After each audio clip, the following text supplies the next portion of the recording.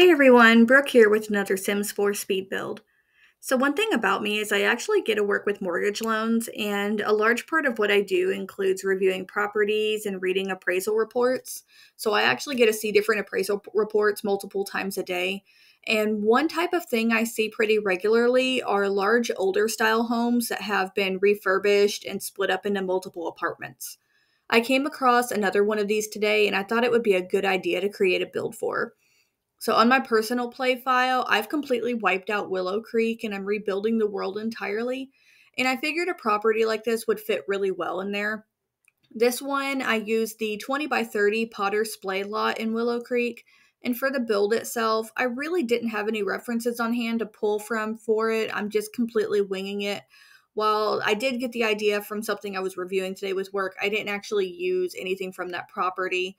Um, I just kind of took the idea and went in blind with this. So the only thing I really knew I wanted it to be was a more traditional style two story home, maybe with a little bit of Victorian influence, and that it had been split into upstairs and downstairs apartments.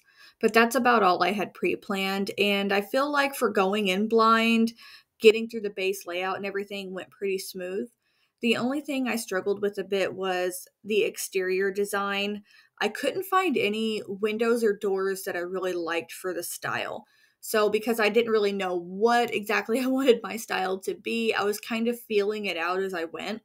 And I was putting different styles of windows on there, different sizes and themes, just trying to find which ones I really liked. It took a little bit of going back and forth before I found what I wanted, what I knew I wanted. But once I had it on there, I was really happy with the result and then it was just going through laying out the roofing and siding and things like that.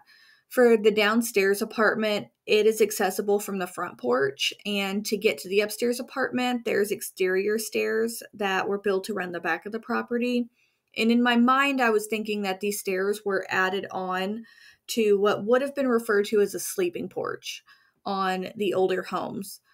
And for each unit, the property, it, they ended up being pretty spacious with three good sized bedrooms, a kitchen, and a living area. Neither unit has a formal dining room, but because the downstairs unit is a little bit larger, you could probably fit one in there if you wanted to, if you wanted to rearrange the furniture. And for the furniture and decorations, I kind of kept everything very simple. I made them almost identically matching. I used a lot of the same things. Um, but really didn't try to make it too ornate. My idea for this property was to be able to use it in game as a property to rent out and play as a landlord rather than actually living in it as a tenant. So I did not spend a lot of time doing fine details and putting in the clutter and the decorations. I just made sure everything had the base amenities that were needed in that it had a pretty cohesive style, and then I just kind of matched the styles across both units. For a quick build like this, I'm really happy where it ended up. I thought everything worked really well together for it, and I'm anxious to hear what your comments are. So, if you have anything you like about it or don't like, anything you would have done differently, drop a comment, let me know what you think. And if you haven't already, please like this video and subscribe to my channel for more Sims content. Bye!